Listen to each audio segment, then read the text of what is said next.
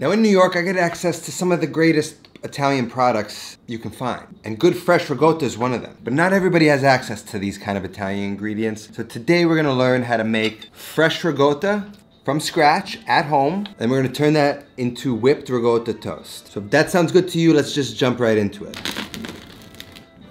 My God. It starts with milk. Really good milk, grass-fed milk, whole milk to be exact. Pasteurized milk, but not ultra pasteurized. You cannot use ultra pasteurized milk for this recipe. This is some local milk, grass-fed stuff. It's non-homogenized, so I gotta kind of shake it up. Might be some separation. And I have about a gallon of it.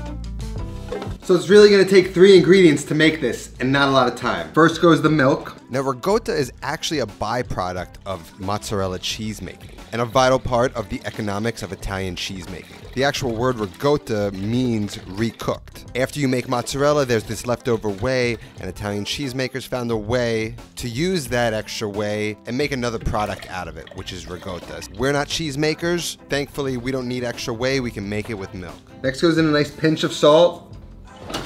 Then we're gonna bring this mixture up to about 180, 190 degrees, right below a boil. Then we're adding about a quarter cup of white vinegar. At home, you can kind of rely on white vinegar or lemon juice. A quarter cup of either will work. So we're gonna bring this over to the stove and get it heated. Get the pot on medium heat, and again, we just want to bring it up to about 190 degrees Fahrenheit or just below the boil. While the milk is heating up, make sure you use a flat bottomed wooden spoon every few minutes to make sure that the milk is not getting scorched on the bottom of the pan. While the milk is getting hot, get a bowl prepared with a fine mesh strainer over a few layers of cheesecloth ready to go. Now, if you see a little foam, you can kind of strain it out. You don't have to, but I saw some and I wanted to remove it, so I did.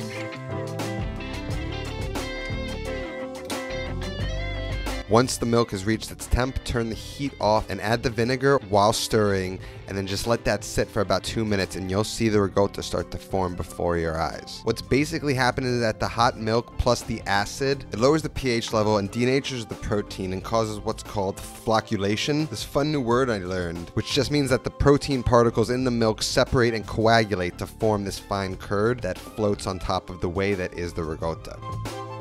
Then using a spider or slotted spoon, fish out the ricotta and add it to the cheesecloth and let the moisture drain out.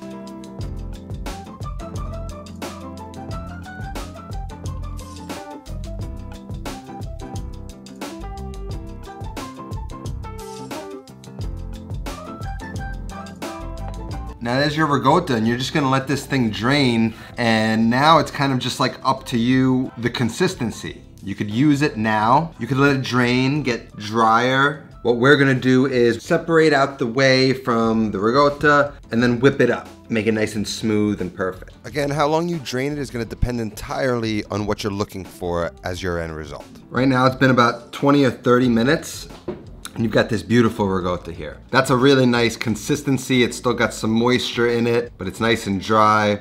Need some salt, but it's really, really good. Now that's good just how it is, but we're gonna whip it.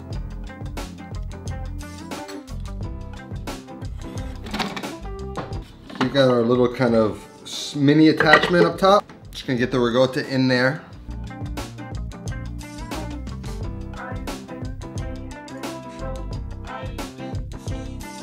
So I'm just gonna add a pinch of salt to it. And to turn it into like this real luscious, creamy ricotta, I'm gonna add a little touch of cream, tablespoon at a time until we get it to the right consistency. If you didn't have cream, you could just work in some of this whey until you get it to the right consistency. Let's see where we're at. Um, why isn't it working? See, what's the matter with you? Come on, get it together.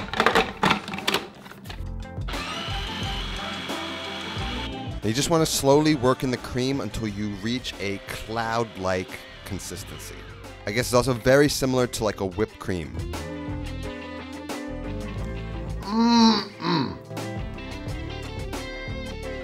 You got your fresh ricotta, and you got your whipped ricotta. So now we're gonna make some whipped ricotta toast. I'm gonna take some ciabatta bread, cut that into slices, and then toast that off real quick in a toaster.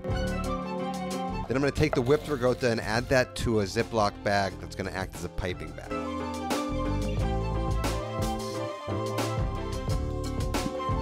I'm going to slice a clove of garlic in half.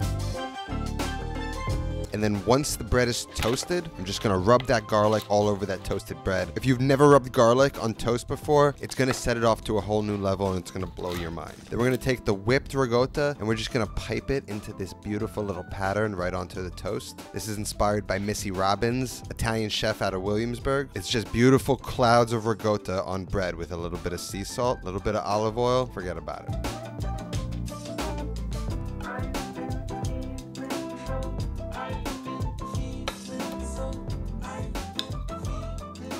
So we've got some fresh ricotta, and then we got our whipped ricotta. My God. All it needs is a touch of olive oil.